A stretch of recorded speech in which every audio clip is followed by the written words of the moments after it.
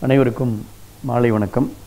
மாண்புமிகு அம்மாவுடைய அரசினுடைய சார்பில் மாண்புமிகு தமிழ்நாடு முதலமைச்சர் அவர்கள் கொரோனா வைரஸுடைய தடுப்பு நடவடிக்கைகளை கண்காணிப்பு நடவடிக்கைகளை தொடர் கண்காணிப்பு நடவடிக்கைகளை மாண்புமிகு தமிழ்நாடு முதலமைச்சர் அவர்கள் தொடர்ந்து எடுத்து வருகிறார் என்பதை தாங்கள் அறிந்ததே.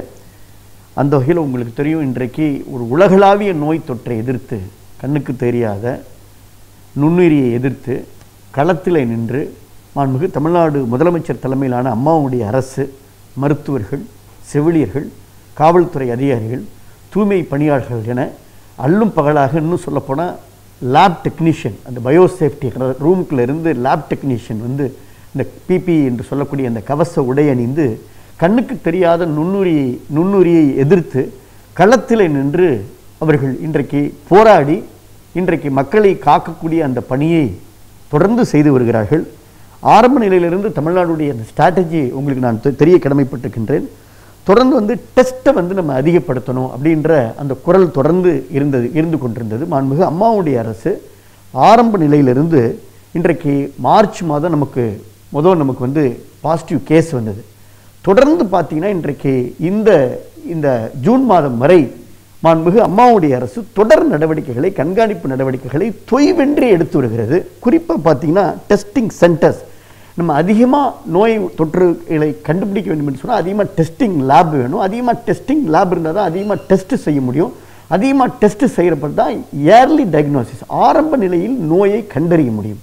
அந்த வகையில் இன்றைக்கு ஒரு லேபில் தொடங்கி இன்றைக்கு படிப்படியாக ஐசிஎம்ஆருடைய அந்த ஒப்புதலை நாம் தொடர்ந்து பெற்று இன்றைக்கு எண்பத்தி ஏழு டெஸ்டிங் சென்டர்ஸ் இன்றைக்கு தமிழகத்தில் உருவாக்கி இருக்கின்றோம் அரசு சார்பில் நாற்பத்தி ஆறு டெஸ்டிங் சென்டர் தனியார் சார்பில் நாற்பத்தி ஒரு டெஸ்டிங் சென்டர் எண்பத்தி ஏழு டெஸ்டிங் சென்டரையும் த்ரீ ஷிஃப்ட் முறையில் ஃபுல் ஃப்ளெஜ்டு அதனுடைய முழு கெப்பாசிட்டியும் யூட்டிலைஸ் பண்ணி இன்றைக்கு சராசரியாக ஒரு நாளைக்கு முப்பதனாயிரம் என்ற அளவிற்கு அதாவது இந்தியாவிலேயே அதிகபட்சமாக முப்பதனாயிரம் டெஸ்ட்டை எடுக்கக்கூடிய அந்த அளவிற்கு இன்றைக்கு நம்முடைய அந்த டெஸ்டிங் கெப்பாசிட்டியை இந்திய அளவில் நம்ம அதிகப்படுத்தியிருக்கிறோம் அப்படின்றது தான் முக்கியமான உண்மை. நான் ஒரு உதாரணத்திற்காக சொல்ல வேண்டும் என்று சொன்னால் நம்மை விட இருபத்தி நம்மை விட எழுபத்து சதவீதம் மக்கள் தொகை அதிகமாக நம்மை விட டபுள் மடங்கு அதாவது இரண்டு மடங்கு பாதித்தவர்களுடைய எண்ணிக்கை கொண்டிருக்கக்கூடிய மகாராஷ்டிரா மாநிலத்தில் கூட ஏழு லட்சத்தி எழுபத்தையாயிரத்தி அறுநூற்றி எண்பது டெஸ்ட்டு தான் வந்து பண்பிக்கிறாங்க இன்றைக்கு வரைக்கும். ஆனால் நாம் வந்து பார்த்திங்கன்னா இன்றைக்கி வரைக்கும் ஒம்பது லட்சத்தி பத்தொம்போதாயிரத்தி இரநூத்தி நாலு பேரை வந்து நம்ம டெஸ்ட் பண்ணியிருக்கிறோம். இந்தியாவிலேயே அதிகமான எண்ணிக்கையில் டெஸ்ட்டை தொடர்ந்து செய்து கொண்டிருக்கக்கூடிய மாநிலம் நம்முடைய தமிழ் மாநிலம் என்பதை இந்த நேரத்தில் அன்போடு தெரிவித்துக் கொள்கின்றேன். ராஜஸ்தான் பார்த்தீங்கன்னா ஆறு லட்சத்தி பதினாலாயிரத்தி அறுநூத்தி நாற்பத்தி ரெண்டு பண்ணிக்கிறாங்க.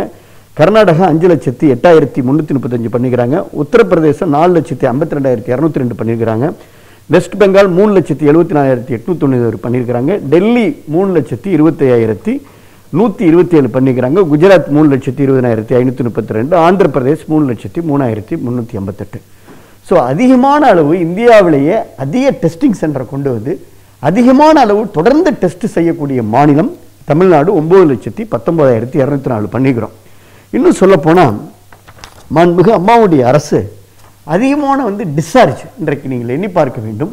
ஒரு பேண்டமிக் ஒரு உலகளாவிய நோய் தொற்று. இந்த உலகளாவிய நோய் தொற்றை மருந்தை எனக்கு there is no drug of choice நான் அடிக்கடி சொல்வேன் there is no drug of choice there is no vaccine இன்னும் உலக அளவில் ஆராய்ச்சியாளர்கள் மருந்து கண்டுபிடிக்க முடியாத நிலையில் symptomatic tree treatment comprehensive treatment supportive treatment antiviral antibacterial இந்த ட்ரீட்மெண்ட்டை ஒருங்கிணைத்து எங்களுடைய மருத்துவ குழு ஐம்பத்தஞ்சு சதவீதம் வந்து டிஸ்சார்ஜ் அதாவது ரெக்கவரி ரேட் கொண்டு வந்திருக்கிறாங்க. அதிகமான அளவுக்கு அதாவது இன்று வரை இன்றோடு சேர்த்து இதுவரை தமிழகத்தில் மருத்துவமனையிலிருந்து குணமடைந்து வீடு திரும்பியவர்களுடைய எண்ணிக்கை முப்பத்தி நாலாயிரத்தி நூற்றி பன்னிரெண்டு பேர். முப்பத்தி நாலாயிரத்தி நூற்றி பன்னிரெண்டு பேரை வந்து இன்றைக்கி நம்ம டிஸ்சார்ஜ் பண்ணியிருக்கிறோம். இன்று ஒரே நாளில் மட்டும் ஆயிரத்தி முந்நூற்றி ஐம்பத்தெட்டு பேரை டிஸ்சார்ஜ் பண்ணிக்கிறோம் ஐம்பத்தஞ்சு சதவீதம் டிஸ்சார்ஜ் ரேட் இருக்குது இது இந்தியாவில் இன்னும் உலக அளவில் டபிள்யூஹெச்ஓ ஐசிஎம்ஆர் யூனியன் மினிஸ்ட்ரி என என்ஐ என்று சொல்லக்கூடிய பல்வேறு அமைப்புகள் வந்து இந்த ரெக்கவரி ரேட் அப்ரிஷியேட் செய்யக்கூடிய அளவிற்கு தமிழகத்துடைய இந்த ஸ்ட்ராட்டஜி அமைந்துள்ளது என்பதை இந்த நேரத்தில் நான் அன்போடு இங்கே உங்களுக்கு நான் தெரிவித்துக் கொள்ள கடமைப்பட்டிருக்கின்றேன். பொதுவாக இந்த சி இந்த நிலை இந்த இந்த பேண்டமிக் குறித்து நான் ஒரு கருத்தை சொல்ல விரும்புகின்றேன். முதல்ல நாங்கள் தொடர்ந்து மாண்புகு அம்மாவுடைய அரசு மாண்புகு முதலமைச்சர் ஆரம்பிலிருந்து பொதுமக்களை பதட்ட வேண்டாம். ஆனால் அதே நேரத்தில் மிகுந்த கவனத்தோடு பொதுமக்கள் இருக்க வேண்டும். மிகுந்த எச்சரிக்கையோடு இருக்க வேண்டும். இன்னும் சொல்லப்போனால் கண்ணும் கருத்துமாக அரசாங்கத்தினுடைய கருத்துக்களை நீங்கள் கேட்க வேண்டும். யாருக்காக சொல்கிறோம் நமக்காக தானே சொல்கிறோம் நாட்டுக்காக சொல்கிறோம் ஒவ்வொருடைய உயிர் காக்கக்கூடிய அந்த விஷயத்தை தானே சொல்கின்றோம். ஒவ்வொருடைய உயிரும் எனக்கு முக்கியம் என்று முதலமைச்சர் சொல்கிறாரு. யாருக்காக சொல்கிறார்? ஆக அந்த கருத்துக்களை நீங்கள் உணர்ந்து அரசாங்கத்தோடு நீங்கள் ஒத்துழைப்பு கொடுக்க வேண்டும் என்பதை தான் நாங்கள் திரும்ப திரும்ப திரும்ப திரும்ப நாங்கள் அழுத்தி பொதுமக்களை பார்த்து வணங்கி நாங்கள் வேண்டி கேட்டுக்கொள்கின்றோம். ஏன் என்று சொன்னால் இன்றைக்கு எவ்வளோ பெரிய பேரி நிறைய பேரிடர் இருக்கிறது. வறட்சி என்ற ஒரு பேரிடர் இருக்கிறது. அதே போல வெள்ளம் என்ற ஒரு- பேரிடர் வந்து செல்லும். மழை ஒரு பேரிடர் மிகப்பெரிய மழை ஒரு பேரிடராக வந்து செல்லும். புயல் ஒரு பேரிடராக வந்து செல்லும். சுனாமி ஒரு பேரிடராக வந்து செல்லும். அது மழையாக இருக்கலாம் வெள்ளமா இருக்கலாம் அல்லது புயலா இருக்கலாம் சுனாமியா இருக்கலாம் அல்லது மிகப்பெரிய இது போன்ற இயற்கை ஒரு பூகம்பமாக கூட இருக்கலாம். ஆனால் இந்த பேரிடரெல்லாம் வந்துவிட்டு போய்விடும். அதற்கு பின்னாலே ஒரு ரெஸ்கியூ ஆபரேஷன் என்று சொல்லக்கூடிய ஒரு மீட்பு பணியை துரிதமாக ஒரு கால அளவை நிர்ணயித்து அந்த ஒரு இயற்கை பேரிடரை எதிர்த்து நாம் களமாடி களமாட முடியும். அதில் நாம் வெற்றி பெற முடியும். ஆனால் இன்றைக்கு ஏற்பட்டிருக்கக்கூடிய இந்த இயற்கை பேரிடர் என்பது இந்த உலகளாவிய பேண்டமிக் என்று சொல்லக்கூடிய மருத்துவ அவசர கால நிலை என்பது உலகளாவிய உலக சுகாதார நிறுவனம் ஒரு மருத்துவ அவசர நிலையை இன்றைக்கு பிரகடனப்படுத்தியிருக்கிறது. இது எப்படிப்பட்ட பிரகடனம்? இன்னும் சொல்லப்போனால் இது ஒரு பயாலஜிக்கல் கலாமிட்டி அதாவது natural disaster involving invisible element கண்ணுக்கு தெரியாத ஒரு நுண்ணுயிரியால் ஏற்பட்டிருக்கக்கூடிய ஒரு இயற்கை பேரிடர். ஆனால் இந்த இயற்கை பேரிடர் இது எப்படி இன்னும் போகும்? இன்னும் எப்படி இந்த பேரிடர் பரவும்? அல்லது எப்படி இந்த பேரிடர் ஒரு ஒரு ஒரு உச்சத்தை தொடும் என்பதை வல்லுநர்கள் கணிக்க திணறக்கூடிய நிலையில் இருந்து கொண்டிருக்கிறது. அது WHO ஆக இருந்தாலும் ஐசிஎம்ஆராக இருந்தாலும் இல்லை இன்றைக்கு என்ஐஆக இருந்தாலும் இல்லை யூனியன் மினிஸ்ட்ரியாக இருந்தாலும் உலகளாவிய டாக்டர்ஸ் எக்ஸ்போர்ட்ஸ் டீம் கூட இதை கணிப்பதற்கு திணறக்கூடிய நிலையில் இருந்து கொண்டிருக்கின்ற இந்த சூழல் தான் இன்றைக்கு இருந்து கொண்டிருக்கிறது. ஆக இந்த சூழலும் மாண்புகு அம்மாவுடைய அரசு எந்தவித தயக்கமும் இல்லாமல் தளராமல் தொடர்ந்து அதே உத்வேகத்தோடு நோய் பரவல் ஒருபுறம் அதை நம்ம எதிர்த்து போராடி கொண்டிருக்கின்றோம். அதை கட்டுக்குள் கொண்டு வர வேண்டும் என்று நோய் பாதித்தவர்கள் ஒருபுறம் அவர்களை நம்ம குணப்படுத்தி அவர்களை உயிர் காத்து அவங்க வந்து வீட்டுக்கு அனுப்பக்கூடிய அந்த பணிகள் ஒருபுறம். அவர்களிடமிருந்து நோய் பிறருக்கு பரவாமல் தடுக்கக்கூடிய அந்த பணிகள் ஒருபுறம். ஒருபுறம் டெஸ்டிங் லேப் அதிகப்படுத்தி அதிகமாக டெஸ்ட் எடுத்து ஆரம்ப நிலையில் கண்டறியக்கூடிய அந்த பணிகள். ஏன்னா இப்படி மல்டி டைமென்ஷன் நமக்கு வந்து சவால்கள் இருந்தாலும் பலமுனை தாக்குதலாக நமக்கு சவால்கள் இருந்தாலும் அந்த பலமுனை தாக்குதல்களையும் அரசு மிகுந்த திறனோடு திறமையோடு அதையெல்லாம் சமாளித்து எதிர்கொண்டு மக்களை காக்கக்கூடிய அந்த பணியை இன்றைக்கு செய்து கொண்டிருப்பது என்பது எல்லோருக்கும் தெரியும். இது மற்ற இயற்கை பேரழிவு போல ஒரு கால நிர்ணயம் செய்யக்கூடிய வல்லுநர்கள் சொல்லக்கூடிய அந்த நிலையிலே இல்லை. அதனால்தான் மாண்புகு முதலமைச்சர் கூட இரண்டு நாட்களுக்கு முன்னதாக நேற்று வந்து யதார்த்தமாக அங்கே குருநானக் கல்லூரியில அந்த அதிகமாக ஒரு சென்னை மாநகராட்சி உருவாக்கப்பட்டிருக்கிற கொரோனா வைரஸ் பாதிப்படைந்தவர்களை வைப்பதற்காக உருவாக்கப்பட்டிருக்கிற அந்த படுக்கை வசதிகள் அவர்கள் ஆய்வு மேற் ஆய்வுகளை மேற்கொண்டு அறிவுரைகளை வழங்கினார்கள். மிக அதிகமான பரிசோதனை செய்ய வேண்டும் என்று அறிவுரை வழங்கினார்கள். மிக அதிகமாக படுக்கை வசதிகளை உருவாக்க வேண்டும் என்று எங்களுக்கு அறிவுரை வழங்கினார்கள். அப்படி அவர்கள் கருத்துக்களை பரிமாறிக்கொண்டிருப்பது யதார்த்தமாக ஒரு பத்திரிகை நிருபர் கேட்கிறார். எப்பொழுது வந்து இது வந்து இந்த கொரோனா வைரஸுடைய அந்த தாக்குதல் குறைந்த குறையும் என்று கொள்வது மாண்புகம் முதலமைச்சர் அவர்களை பற்றி அனைவருக்குமே தெரியும். அவர் கடவுள் பக்தி கொண்டவர். அவர் வெளிப்படையாக கோயில்களுக்கு செல்லக்கூடியவர் அதீத அஹ், பக்தி கொண்டவர். ஆகையினால யதார்த்தமான ஒரு கருத்துக்கு யதார்த்தமான ஒரு கேள்விக்கு யதார்த்தமாக அவர் பதில் சொல்லுகிறார். கடவுளுக்கு தான் தெரியும் என்று சொல்லி. இதில் என்ன தவறு இருக்கிறது? கடவுள் என்ற வார்த்தையை சொன்னதில் என்ன நீங்கள் குற்றம் கண்டுபிடித்து விட்டுவீர்கள்? கடவுள் என்ற வார்த்தையை சொன்ன உடனே ஏன் இன்றைக்கு எதிர்கட்சி தலைவருக்கு கோபம் வருகிறது என்பது எங்களுக்கு தெரியவில்லை. ஆனால் மாண்புமிகு முதலமைச்சர் அவர்கள் அவர் சொன்ன- மாண்புமிகு முதலமைச்சர் அவர்கள் சொன்னார்கள் இன்றைக்கு உலக சுகாதார நிறுவனம் அவர்களால் கணித்து சொல்ல முடியவில்லை. இன்றைக்கி டபிள்யூஹெச்னால கணித்து சொல்ல முடியவில்லை. வல்லுநர்களால் கணித்து சொல்ல முடியவில்லை. டாக்டர்ஸ் எக்ஸ்பர்ட்ஸால் இன்னைக்கு கணித்து சொல்ல முடியவில்லை. இருந்தாலும் கூட இன்றைக்கு இருக்கக்கூடிய அந்த ரிசோர்ஸை வச்சுக்கொண்டு தமிழகத்தில் மிக கடுமையான இந்த பணிகளை மேற்கொண்ட காரணத்தினால தான் இந்தியாவிலேயே வந்து ரெக்கவரி ரேட் இந்தியாவிலேயே அந்த டிஸ்சார்ஜ் ரேட் வந்து 55% சதவீதம். நான் சொன்னது போல் இன்றைக்கு முப்பத்தி ரெண்டாயிரத்தி முப்பத்தி நாலாயிரத்தி நூற்றி பன்னிரெண்டு பேர் இன்றைக்கு குணமடைந்தவர்களை வீடு வீட்டுக்கு நல்லபடியாக அனுப்பிச்சிருக்கின்றோம். அதே போல் இந்தியாவிலே அதிகமான டெஸ்ட்டு இன்னைக்கு வந்து பார்த்தீங்கன்னா இன்றைக்கு ஒன்பது லட்சத்தி பத்தொன்பதாயிரத்தி இரநூத்தி நாலு பேருக்கு நம்ம டெஸ்ட் எடுத்திருக்கிறோம். ஆக அந்த அளவிற்கு மாண்புமிகு முதலமைச்சருடைய பணிகள் முதலமைச்சருடைய ஈடுபாடு இதில் இருக்கிறது என்பதை இந்த நேரத்தில் நான் அன்போடு தெரிவித்துக் கொண்டு நான் ஏற்கனவே சொன்னது போல இந்த சூழலிலும் தொடர்ந்து அரசின் மீது நீங்கள் எந்த விதமான ஒரு அடிப்படை ஆதாரம் என்று குற்றச்சாட்டுகளை சுமத்த வேண்டாம். ஏனென்று சொன்னால் ஆக்கப்பூர்வமான கருத்துக்களை வரவேற்கின்றோம். நீங்கள் ஆக்கப்பூர்வமான கருத்துக்களை சொல்லுங்கள் ஏற்றுக்கொள்கின்றோம் நல்ல வழிமுறைகளை சொல்லுங்கள் ஏற்றுக்கொள்கின்றோம். நல்ல ஒரு மிகப்பெரிய மருத்துவ குழுவினுடைய ஒரு அதிகாரபூர்வமான தகவல்களை சொல்லுங்கள். அந்த தகவல்களை அரசு ஏற்றுக்கொள்ள தயாராக இருக்கிறது.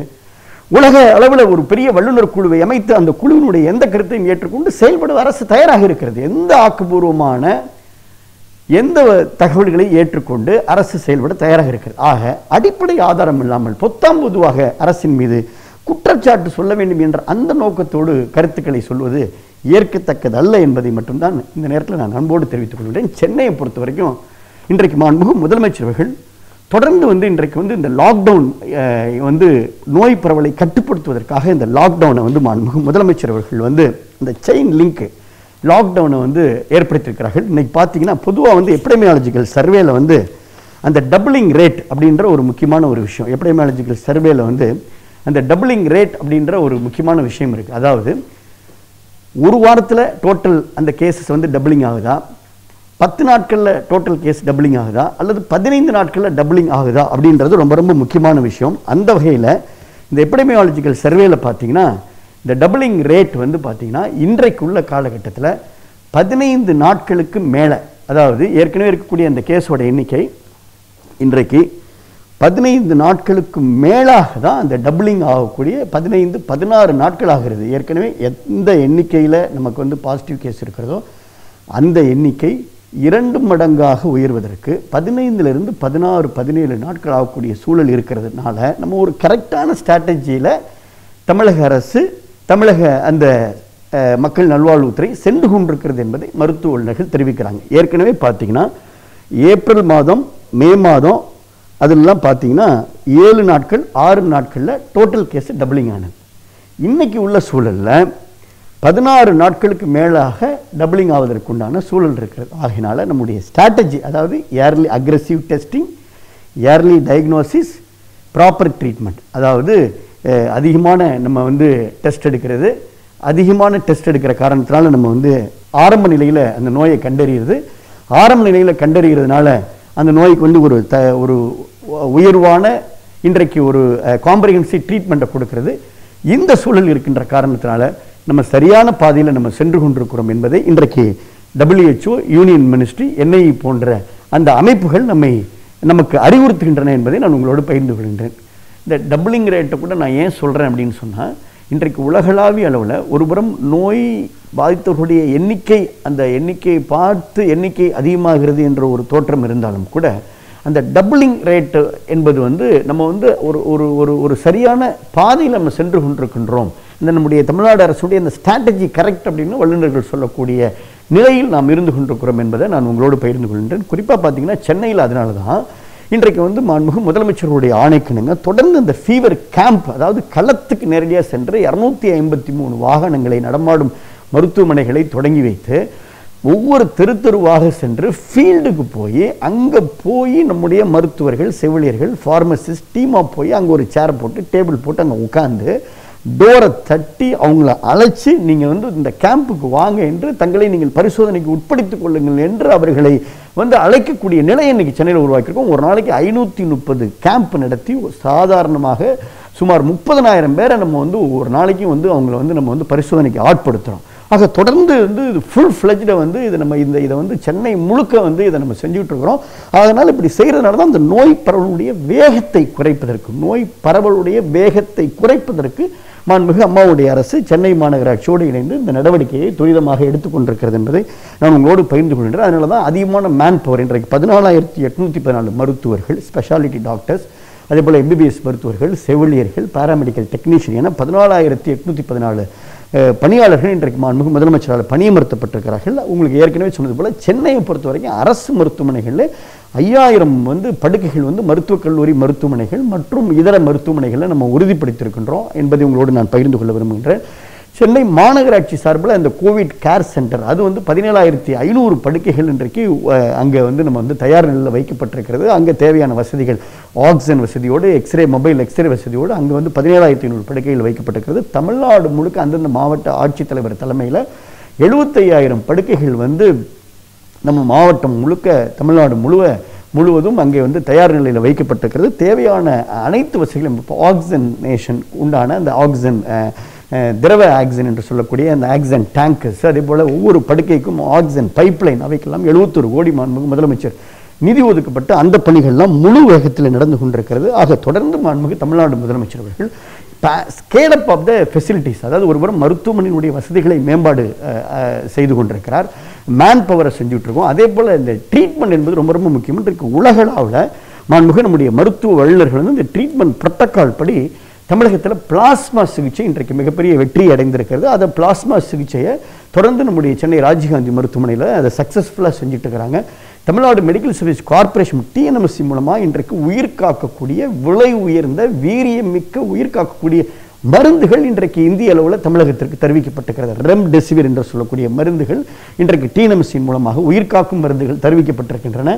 அதே போல் டோசிலினி ஜுமாப் என்று சொல்லக்கூடிய உயிர் காக்கும் வீரியமிக்க மருந்துகள் இன்றைக்கு அனை சென்னை மட்டுமல்லாமல் தமிழகத்தில் பிற மாவட்ட மருத்துவக் கல்லூரிகளுக்கும் அந்த உயிர் காக்கும் வீரியமிக்க மருந்துகள் கொடுத்து அனுப்பப்பட்டிருக்கின்றன. அந்த அளவுக்கு உயிர் காக்கும் மருந்துகளை எல்லாம் இன்றைக்கு தமிழ்நாடு அரசு கொள்முதல் செய்து கொண்டிருக்கிறது. ஆகையினால தொடர்ந்து மாண்புமிகு தமிழ்நாடு முதலமைச்சர் அவர்கள் மல்டி டைமென்ஷனில் இந்த பணிகளை செய்து கொண்டிருக்கிறார். புரொட்டக்கால் என்று சொன்னால் ஐசிமாருடைய புரோட்டோக்காலை உரிய அந்த புரோட்டோக்காலை நம்ம சரியாக ஃபாலோ பண்ணுறோம் இன்னும் சொல்லப்போனால் அந்த டெஸ்டிங் அப்படின்றதுல ரொம்ப நாங்கள் கவனம் செலுத்துகிறோம் இந்த உரிய புரோட்டோக்கால் படி இந்த ட்ராக்கிங் ட்ரேசிங் படி பார்த்தீங்கன்னா மாண்புகு முதலமைச்சர் அலுவலகத்தில் வந்து உங்களுக்கு தெரியும் அந்த புரோட்டோக்கால் படி மாண்புகு முதலமைச்சருக்கே நாங்கள் டெஸ்ட் எடுக்கக்கூடிய அந்த நிலையில் இன்றைக்கு மாண்புகு தமிழ்நாடு முதலமைச்சர் எந்த விதிவிலக்கும் இல்லாமல் மாண்புகு முதலமைச்சர் அவர்களுமே தன்னை வந்து இன்னைக்கு இந்த கொரோனா பரிசோதனையில் வந்து அவர் தன்னை ஆட்படுத்திக் கொண்டார்கள்.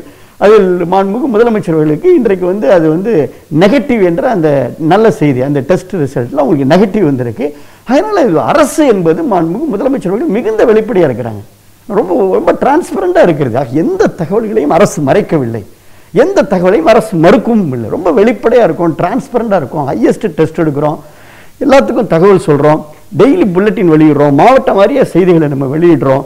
எவ்வளோ பேர் நம்ம ப்ராப்பராக நம்ம எல்லாத்தையும் அட்மிஷன் போடுறோம் ப்ராப்பராக ட்ரீட்மெண்ட் பண்ணுறோம் ப்ராப்பராக ஹையஸ்ட் நம்ம வந்து தேவையான இந்த என் நைன்டி ஃபைவ் மாஸ்க்லேருந்து பிபியிலேருந்து அவங்க சாதாரண த்ரீ பிளை மாஸ்க்லேருந்து மருத்துவர்களுடைய அந்த first priority of the government is இந்த safety of the front line workers முதலமைச்சர் அடிக்கடி சொல்லுவாங்க களத்தில் நின்று போராடக்கூடிய காவல்துறை அதிகாரிகள் தூய்மை பணியாளர்கள் மருத்துவர்கள் செவிலியர்கள் இவருடைய பாதுகாப்பு என்பது முக்கியம் என்பதை மாண்புக அம்மா முதலமைச்சர் அடிக்கடி சொல்வார். அந்த பாதுகாப்பை இன்றைக்கு அரசு உறுதிப்படுத்திக்கணும். அதையும் தாண்டி ஒரு ஒரு ஃபியூ பர்சன்டேஜ் இப்போ இன்றைக்கு சென்னையில் வந்து ராஜீவ்காந்தியுடைய முதல்வர் அவர்களுக்கு இன்றைக்கு பாசிட்டிவ் என்று சொன்னால் ராஜீவ்காந்தியினுடைய டீன் அவர்கள் தொடர்ந்து வந்து மூன்று மாதமாக களத்தில் நின்று அவங்க போராடி பல உயிர்களை அவர்கள் காப்பாற்றி இருக்கிறார்கள் தங்கள் அங்கே அருகில் சென்றால் தங்களுக்கு வரும் என்று தெரிந்து அதை தங்களுக்கு தங்களுக்கு வந்து பாசிட்டிவ் வரக்கூடிய வாய்ப்பு இருக்கிறது என்று தெரிந்தும் தான் களத்தில் அவங்க போராடுறாங்க.